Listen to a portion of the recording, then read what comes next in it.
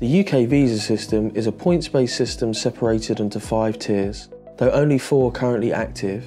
If you haven't already, it may be useful to watch our general overview video. This video will look at Tier 5. The Tier 5 route is for those wishing to come to work temporarily in the UK, or as part of a partner country's youth mobility scheme. Importantly, all schemes only allow you to stay for a maximum of 12 months though you may be able to extend your visa for a further 12 months with an application from outside the UK once you return to your home country. The only exception is the Youth Mobility Scheme, which allows you to stay for up to 24 months. None of the Tier 5 visas are eligible to count towards an application for indefinite leave to remain. For temporary worker categories, there is no limit to the number of visas. For the Youth Mobility Scheme, this category will be limited to the number of visas provided by the partner country. This visa is separated into six further sub-tiers. Tier 5 Temporary Charity Worker is for those wishing to do unpaid voluntary work for a charity. The Creative and Sporting route is for those wishing to work as a sports person or creative worker. Examples include acting, dance, music or film.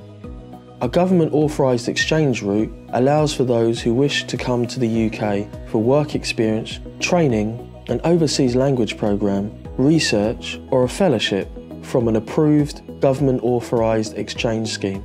This list can be found by searching the web for the Tier 5 GAE scheme sponsorship list.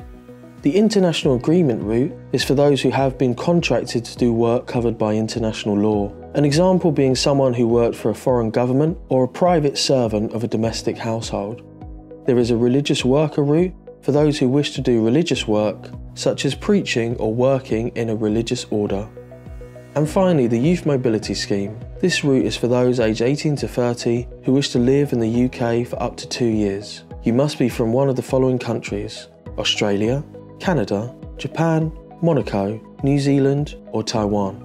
You can also apply if you're from Hong Kong or the Republic of Korea, but you must be sponsored. This means applicant from these countries must have secured employment or sponsorship from a recognised UK sponsor. Visas are limited depending on the country you are applying from. In this series, we will provide an introduction to the whole UK visa system.